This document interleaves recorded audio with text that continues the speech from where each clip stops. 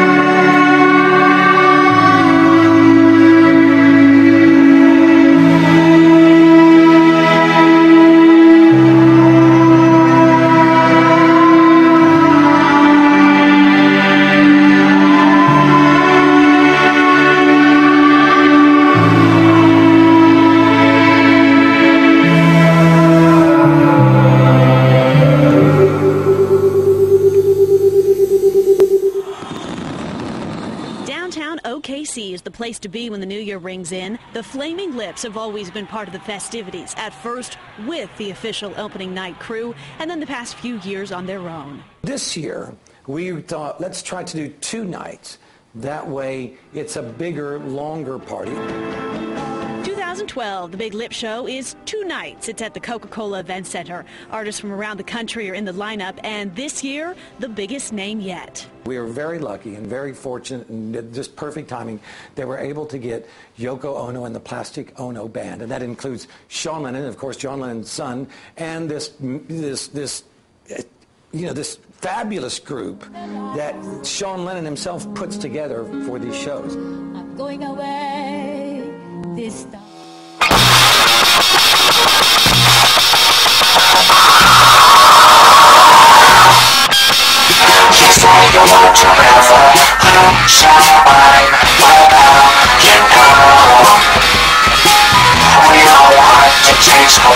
If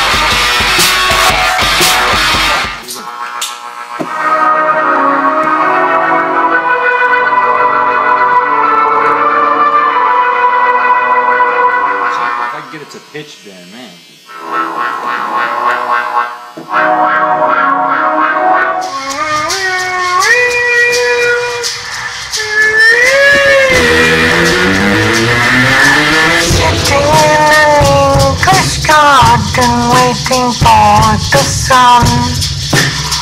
If the sun don't come, you get your dance on standing in the English train. I am the Eggman. They are the Eggman. I am the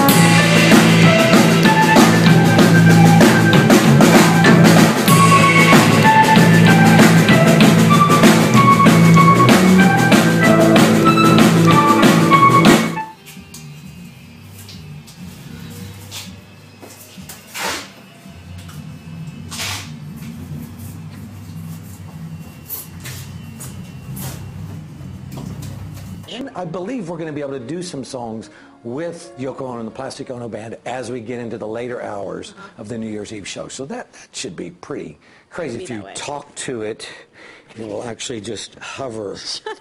Earlier this month, Wayne Coyne and the Flaming Lips went to Ono's New York studio to record this album. It glows in the dark. 2,000 of them will be available at the show.